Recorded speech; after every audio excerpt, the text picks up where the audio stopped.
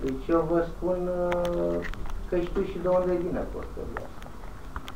Asta ca fapt diverse.